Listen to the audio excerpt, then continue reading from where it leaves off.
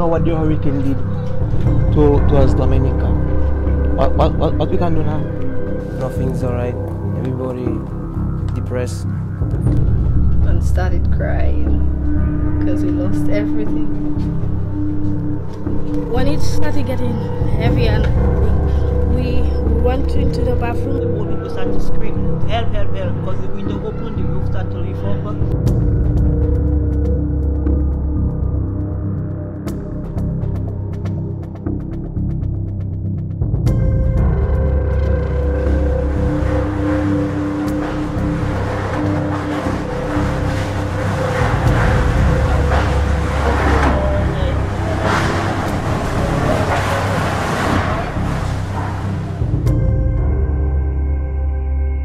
Went from category 4 to category 5 and I started to shiver because I'd never experienced a hurricane ever before in my life.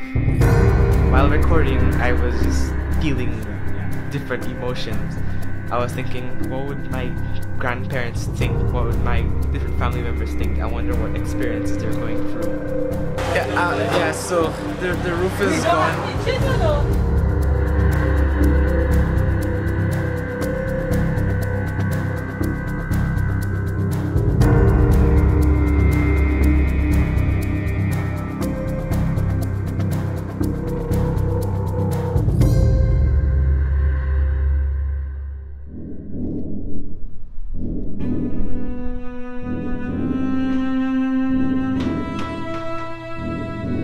Don't know when I can go back to school. Worst case is next year, but hopefully I can get back soon and see my friends again.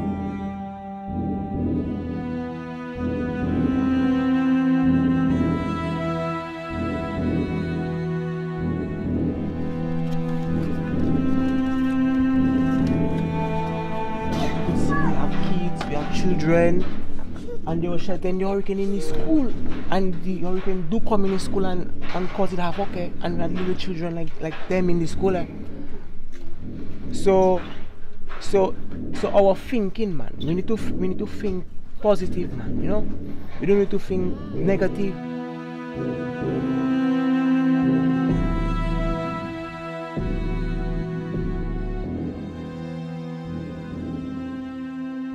before the hurricane came, then I said that I want to um, preserve the children's books.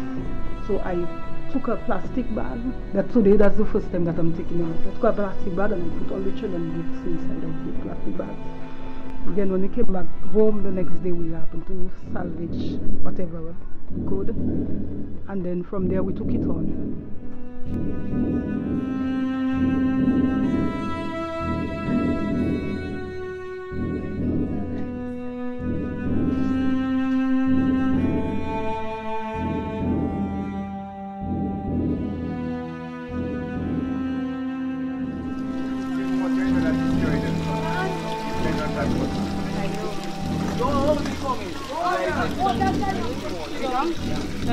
Andiamo poi